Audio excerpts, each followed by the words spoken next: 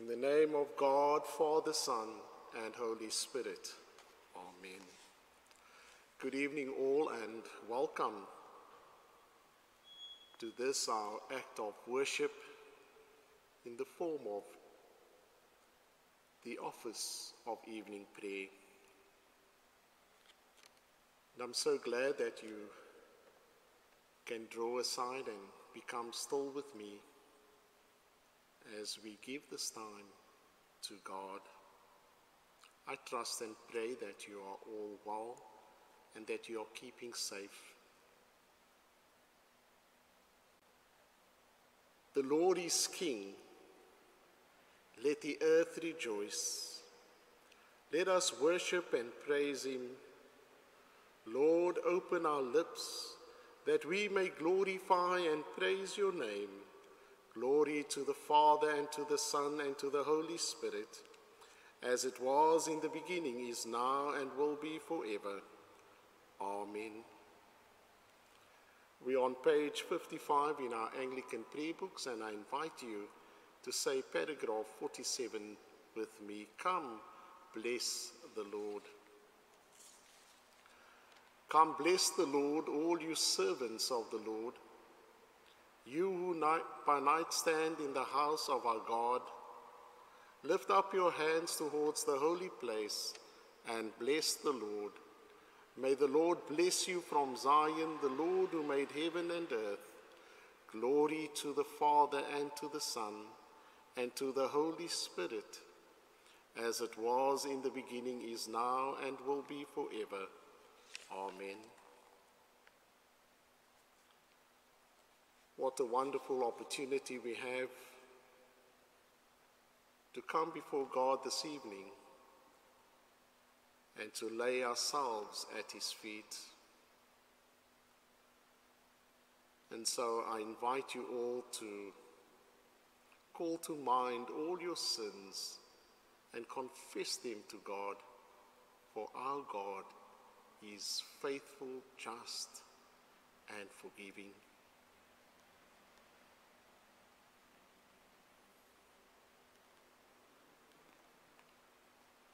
And so let us confess together.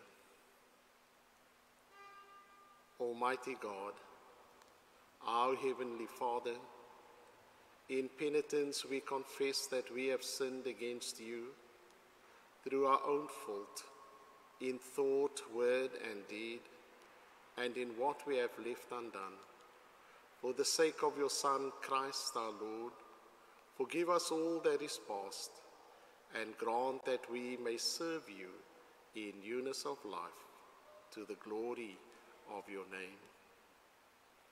Almighty God, have mercy on us, forgive us our sins, and keep us in eternal life through Jesus Christ our Lord. Amen. Our psalm for this evening is Psalm 89. Psalm 89 from verse 39 to verse 53 can be found on page 717 in our prayer books. Psalm 89, verse 39 to verse 53 on page 717.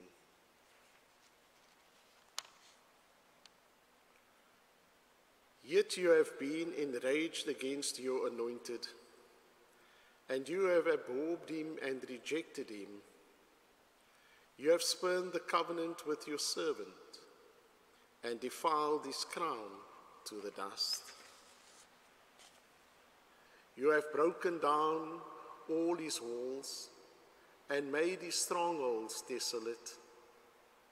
All that pass by plunder him he has become the scorn of his neighbors. You have exalted the right hand of his adversaries and gladdened all his enemies. His bright sword have turned backwards. You have not enabled him to stand in, in the battle. You have brought his luster to an end. You have caused, cast his throne to the ground. You have cut short the days of his youth and clothed him with dishonor. How long, O Lord, will you hide yourself so utterly? How long shall your fury burn like fire? Remember how I draw to my eternal end. Have you created all mankind for nothing? Where is the man who can live and not see death? Who can deliver his life from the power of the grave? Where, O Lord, are your loving kindness of old, which you have vowed to David in your faithfulness? Remember, O Lord, how your servant is reviled, how I bear in my bosom the onslaught of the peoples.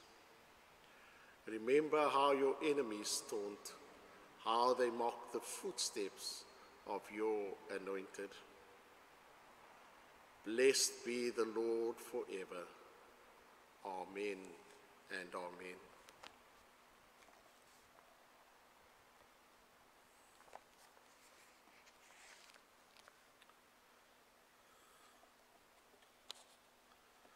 Our lesson is written in Mark chapter 15, and I read from verse 40 to verse 47.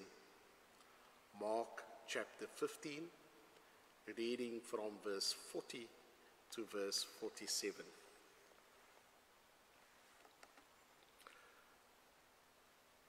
Some people were watching from a distance. Among them were Mary Magdalene, Mary the mother of James the younger, and Joseph, and Salome. In Galilee, these women had followed him and cared for his needs. Many other women who had come up with him to Jerusalem were also there. The burial of Jesus. It was preparation day, that is the day before the Sabbath. So, as evening approached, Joseph of Arimathea, a prominent member of the council, who himself wait, who himself waiting for the kingdom of God, went boldly to Pilate and asked for Jesus' body. Pilate was surprised to hear that he had already died. Summoning the centurion, he asked him if Jesus had already died. And when he learned that the centurion, when he learned from the centurion that it was so, he gave the body to Joseph. So Joseph brought some linen cloth took down the body, wrapped it in linen, and placed it in a tomb cut out of rock. Then he rolled up a stone against the entrance of the tomb. Mary Magdalene and Mary, the mother of Joseph, Joseph, saw he was laid. Here ends the lesson.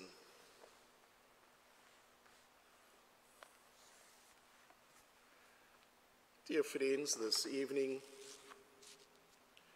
both the psalmist and the gospel writer reminds us of the frailty of life.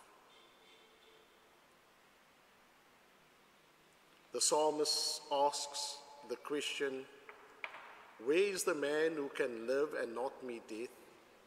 Who can deliver his life from the power of the grave?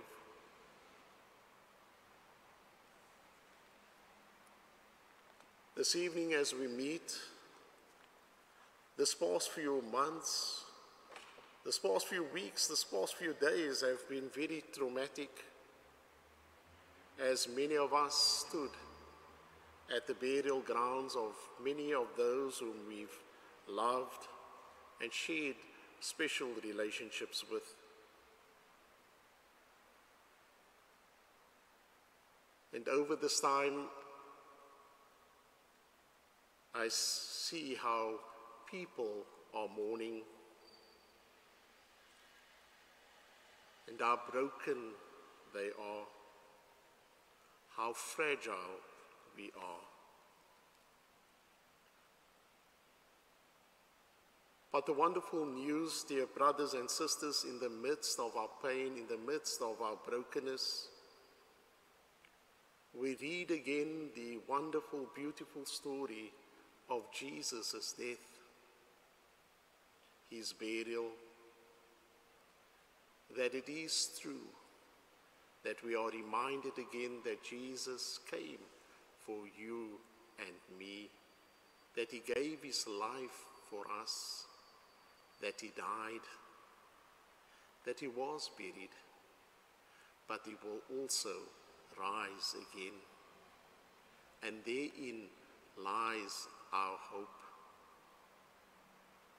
And so this evening, amidst all that we are faced with and challenged with, may we take hope that God knows our hearts.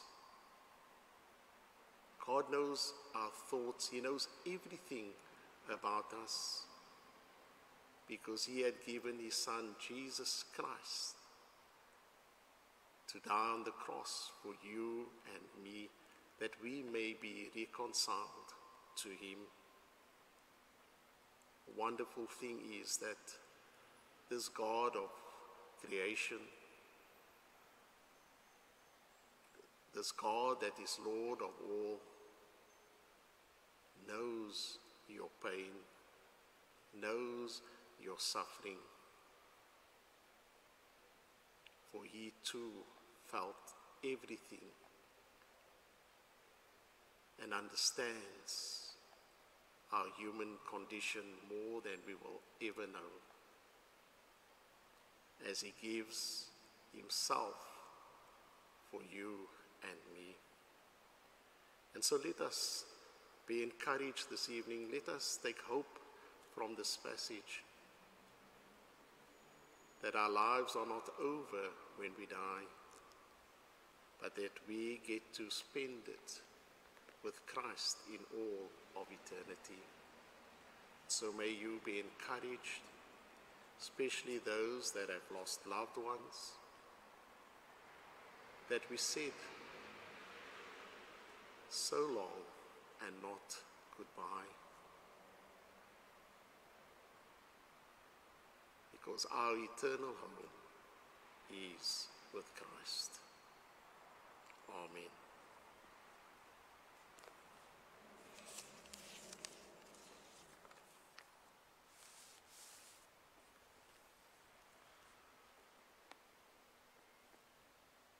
The Song of Simeon.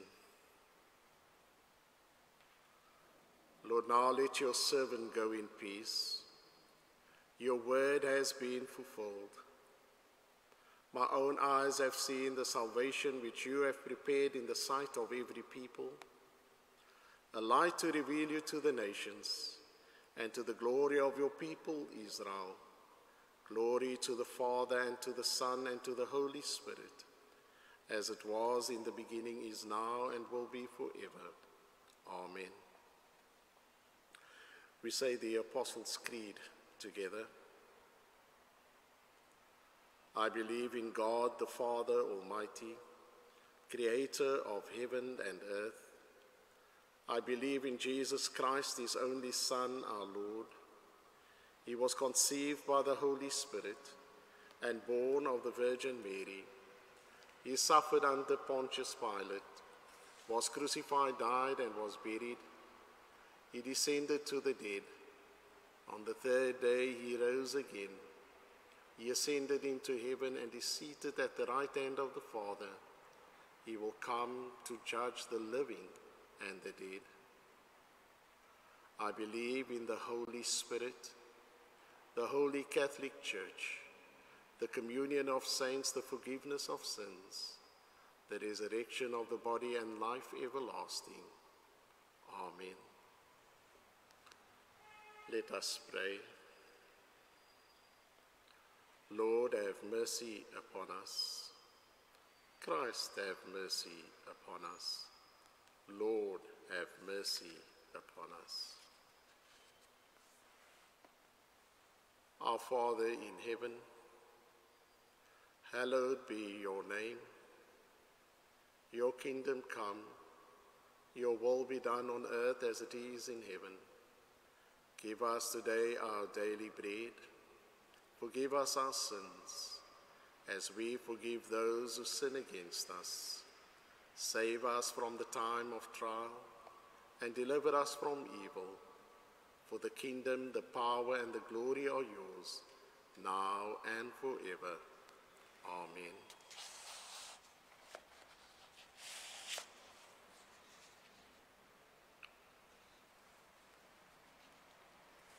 God, our Father, who has called us to pray for all, we remember at this evening time those who especially need our prayers. Bless those who are lonely and who feel their loneliness worst of all at evening time.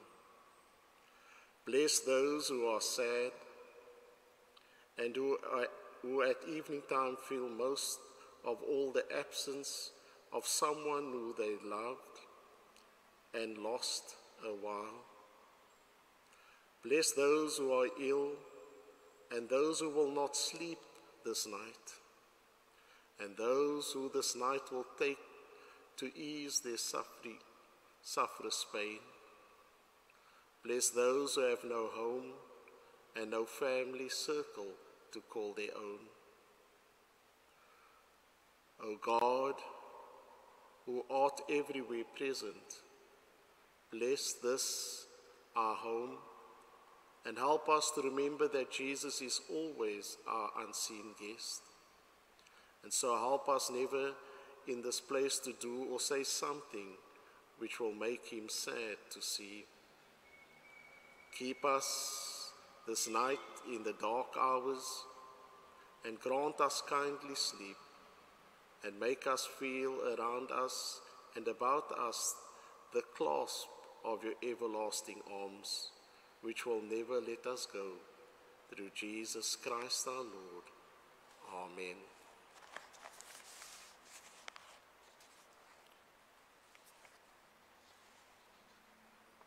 O God of love, your embrace includes everyone.